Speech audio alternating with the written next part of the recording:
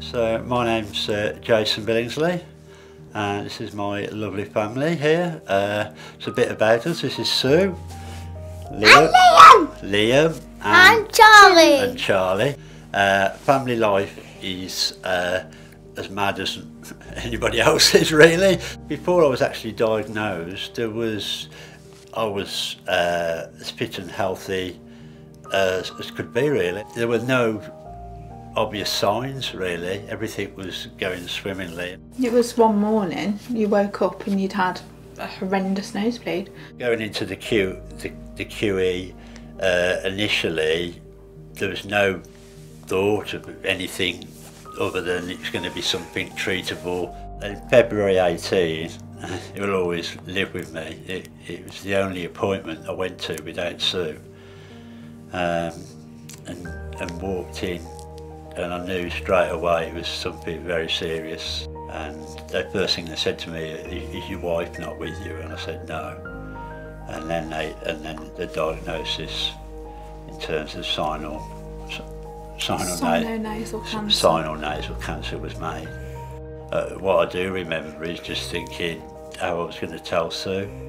I got home and straight away Sue knew something was wrong. And we went upstairs. We went upstairs, and I just said to her, "A- "Any crying, any upset, we can't do it in front of the lads. We've got to do it." And, and you know, on the night there were a few tears, but to be, you know, Sue's been my absolute rock. My thought was, how do you tell an eight and a five year old little boy that daddy's not well?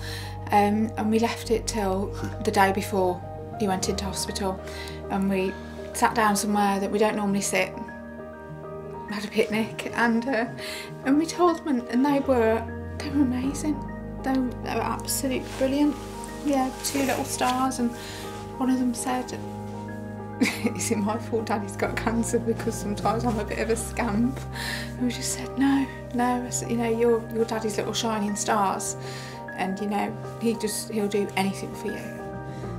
The operation involved or here being lifted back, uh, my upper jaw coming out, my teeth coming out, uh, and being replaced by bone from my hip and muscle and tissue from here. And I've got uh, a titanium plate there and a titanium plate there which is not good when you're going through customs at an airport. But um, so sort of holding everything together. The doctors have been really good, and we're just happy that Daddy's home and he's well, and he will get his new teeth um, next year. About him, like Mum says, say. Mr. Praveen mentioned Get A-Head as part of Jason's operation, as part of like using his hip bone to create a new cheek, cheekbone, he'd used a piece of equipment, a 3D printer. Now that 3D printer was donated to the hospital by um, one of the patients, um, a patient who had had head and neck cancer, and had then got involved with the charity and had, you know, through the charity had helped out the QE. It's only through, you know, the support of charities like Get A-Head that these pieces of equipment can be bought. So, and we'll both continue to support the rest of our lives because of, of what they've done for us.